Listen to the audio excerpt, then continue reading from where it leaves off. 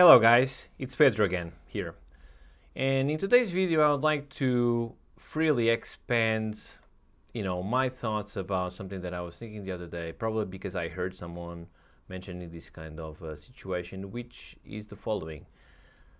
What I would do if I would start my career today in compositing.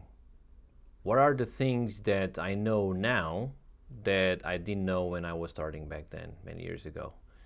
And you know, I was thinking about this the other day. Uh, so I'm just speaking freely here now. Okay, so I, I don't have anything written down or anything like that. Um, first of all, I think assessing like my trajectory in my career, I've had like a, a blessed career with some ups and downs, obviously, but overall very blessed. Um, not very common uh, as well, and also coming from my background, not very common either. Because uh, as some of you know, I have a, a, mechanical engineer background, and VFX happened to me sort of by accident, as you probably some of you know, right?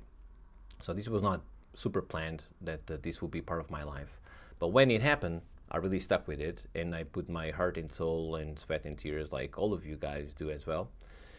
Um, but things happen uh, really fast for me, and you know sometimes i find myself like thinking like okay so why why why why why that is and how can i help other people uh, attaining the same?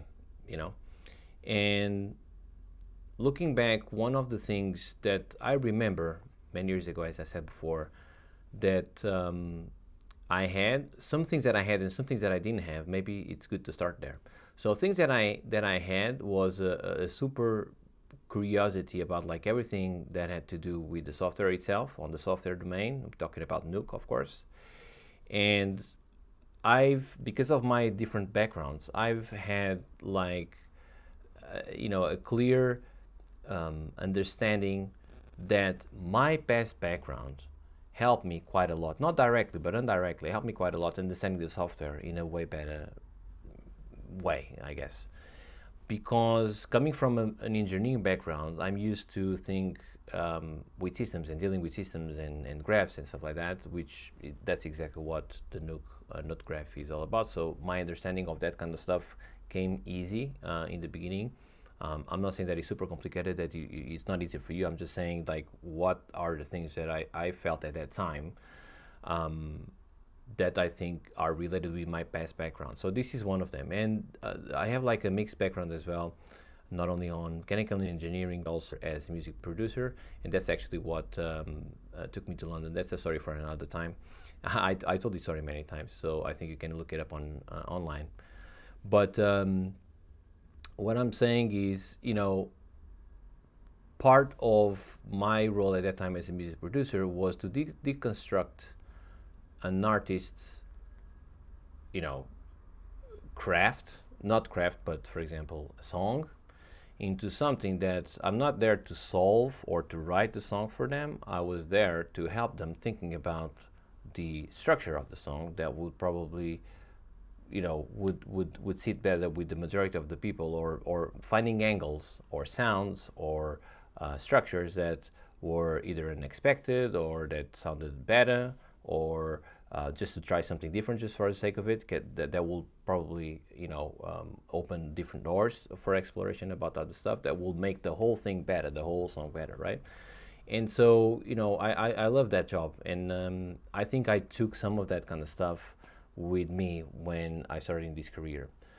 And i started applying that i think not consciously but perhaps unconsciously for myself when i was looking at some shots right? One of the things that I remember as a kid, um, you know, those those images in which you have to find the differences, like you have two images that are very similar and they have to find differences. Um, as a kid, I remember my mom giving me a bunch of these, uh, maybe probably there because I was, I couldn't shut up or whatever, so she gave me these. And, um, and I was quite good at that kind of stuff, like identifying all of these things. And I remember like thinking about that example multiple times in the beginning of my career because I was able to identify what is not what's not good with this picture, what's wrong with it. Like, you know, if I compare this with the, the, the, reality, what's right about it, what's wrong about it, you know? And a lot of what we do is referencing And if you not, if you don't reference like as as uh, extensively when you're doing comps, you should because that's where the ground ground truth is, if you want to call it like that, right? So references is always should be always what's on your side when you're comping something because that's what the reality is and that's what you want to try to mimic. And there's like many different little things that they're barely noticeable but that's what makes them real you know? So i think it helped me um, you know having like these two sides it helped me to come up with um, with, with uh, maybe have a a little bit more understanding on how to understand my job because of these reasons and on top of that, taking into account my technical background, I had like an avid curiosity for learning everything that I could possibly learn. And the more I learned, the more I wanted to learn. Very specific though, very specific for what I wanted to do, which was the software itself and compositing as a craft. I was not looking at outside, right? However, and think about this now, however, one thing that I, um, very early on, by the way, that I uh, th- that I start doing, not knowing exactly what that would take me or what that would mean for me, necessarily speaking, but I started learning Python very early on. And at that time, in comparison to today, the documentation that we had available to us was almost inexistent and it was very confusing.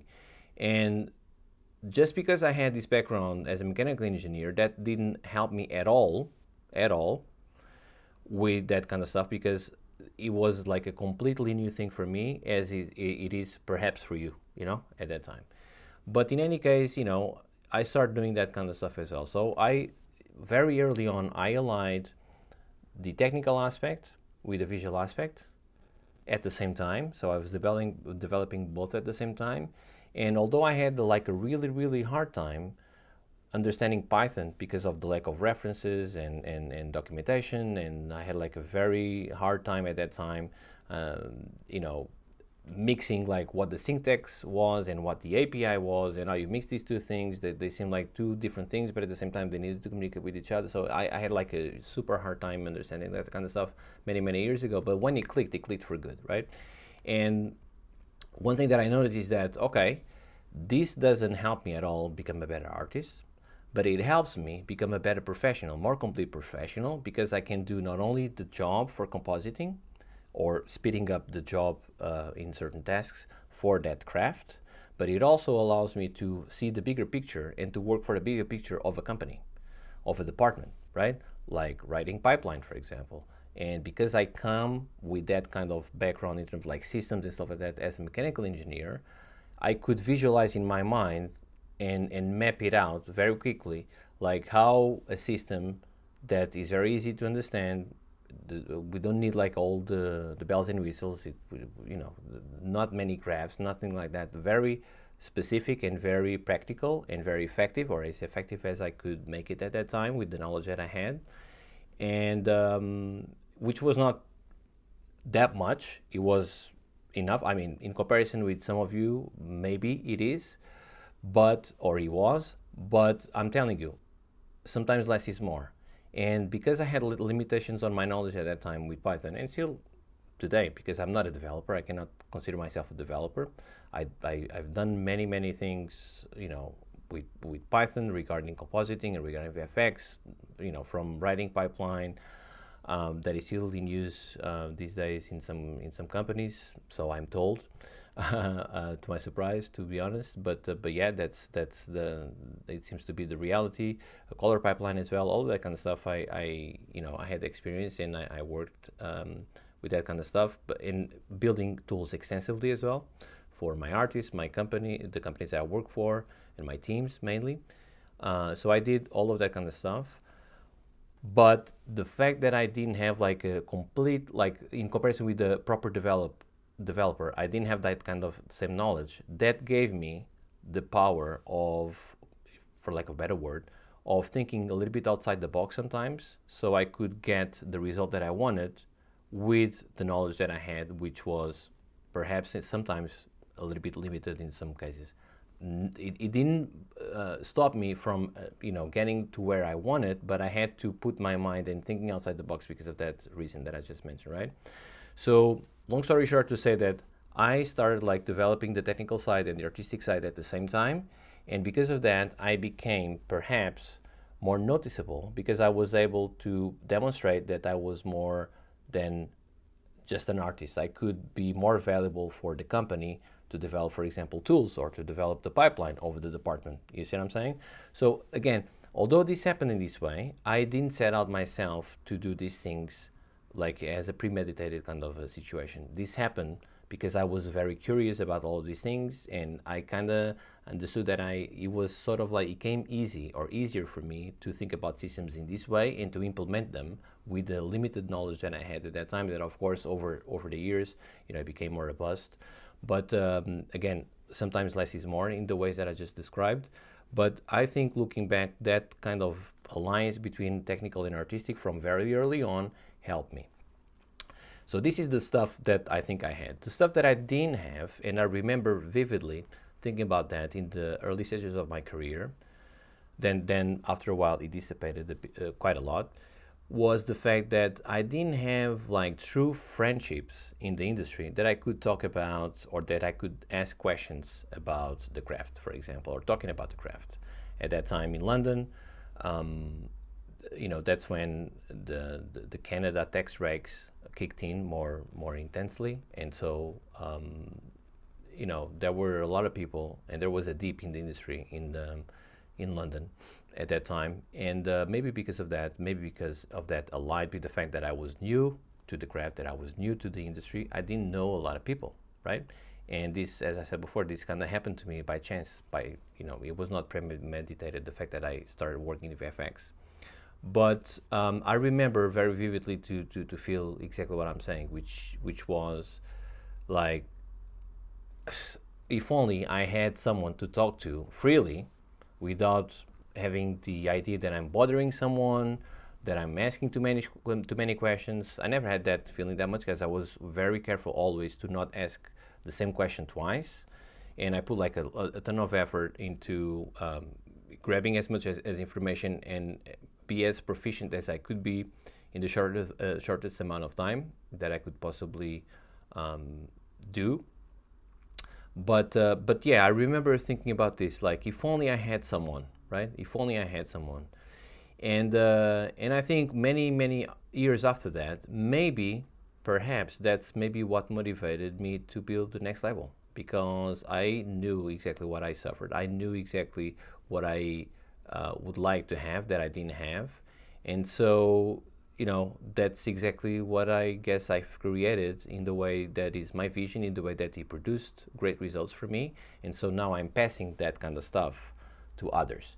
And one thing that definitely, when I became a supervisor, one thing that really, really, really, really, really helped me, I think, to this day, in many different forms, because what I'm about to say are transferable skills, is knowing about management and putting like a ton of effort into come up with systems that will make me feel in control at all times. Of course, there are things that happen that are not good. Not everything is good just because you know uh, management, but management gives you the bigger picture, gives you control, and gives you um, you know a, an assessment and makes you able to predict what comes like a month down the line couple of weeks down the line. And with that, you are able to do something before, you know, shit hits the fan, as we normally say, right? But if you don't have that visibility, if you not, if you don't have that knowledge, you don't know. You just go about your life on a normal day and following orders more than anything else, right? With your artistic uh, side, of course, the, the, artistic side that you want to put either as a uh, as an artist or as a supervisor, current supervisor. But what I see the great majority of the times is people not having this visibility about like the bigger picture, and that comes with project man project management skills. And you don't need to believe me; you just need to look at the last project, the last five projects, the last like maybe your entire career, like how all are the projects or are how the projects that you are working on go about the management side of things. That's where every everything fails, right? That's if we have like a, a common problem to all disciplines in VFX, that's exactly what it is. All projects tend to fail on the development of the show, every show. And every time that there's a new show coming, you would assume that you're not going to repeat the same mistakes again. But once again, they happen, right? And it's normally a, an awful experience for everybody. And it's not my intention today to dive into that. Maybe it's a conversation for another time. But again, just going back to the things that I think worked well for me, and if I knew this in advance, probably I would put more effort into it. And I'm telling you this now, so you don't have to, um, you know, endure the same things that perhaps I did. Although, as I said before, I, I don't have like much to, to, to complain. Quite the opposite about my career but um, I want you guys to be successful as well. So that's that's that's what I'm trying to do here. You know what I mean? Like to give you value in order for you to attain the same or even better results, perhaps. Right? That's that, that's even better. But uh, yeah, so I would say artistic knowledge at the same time as technical knowledge makes you a more complete artist and a more more a more valuable person, right? As a more valuable artist. Not detracting, you need to be careful of doing this without detracting from your main goal, whatever goal might be. If you want to be a TD, be a TD and work your skills up with that kind of objective in mind. If you want to be a supervisor, work your skills up with that objective in mind. And whatever you choose to do to learn or not to learn needs to go on that kind of goal, needs to be attached to that kind of goal. But I would say Python, super helpful. It did great things for my career, so I can tell you enough. Artistic skills that, you know, it's more about experience and, you know, the world out there, when you go out in the street to get a coffee or whatever, is filled with free lessons, like how you perceive your reality, you know, where are, where is your attention when you look at, for example, a shadow? When you look at the reflection or refraction, whatever, you know, things about that, that happens in your uh, day-to-day life. So, you know, take that kind of stuff as free lessons. And then project management skills, not only when you are already with leadership positions, but start before that because it's a golden opportunity that you have in your hands to develop those skills ahead of time. Because when you go and have that added responsibilities within like a leadership position, what happens is you won't have time to develop them because you're going to be involved in a multitude of new things and you're going to you know have like a lot of questions and you're going to be involved in a lot of meetings and be, be talking with a lot of people and uh, it's going to be a little bit overwhelming you know? Again if you don't have a plan. So if, if, if you have a plan great it will help you but if you don't develop these skills ahead of time and only or only when this time happens it's going to be a nightmare for you because you won't you, won't, you won't be able to do it you know? And uh, you know we've been helping like a lot of experienced people over the years hundreds of people really you know work towards their goals. And we're talking about very experienced people as i said before you know experienced compositors lead compositors uh, you know compositing supervisors vfx supervisors and even business owners as i said before. And all of them they have this in common which is for whatever reason they never learn these these these um, these subjects and they know because they've experienced it that this is probably what's gonna make them you know go about their lives professional lives i'm talking in a way better way without the stress as much and looking at the bigger picture always at, at, at all times. And that will then influence their personal life so when you have these two things aligned of course life feels better, right?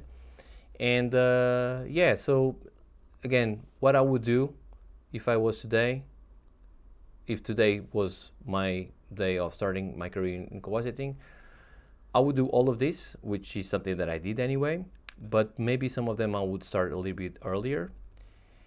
And one thing that I didn't mention that I'm going to mention at the end is finding someone, because I didn't have that at that time, finding someone that I would resonate with and do whatever he would take to be on his or her radar and be always involved, befriend this person basically, and to learn with him or her.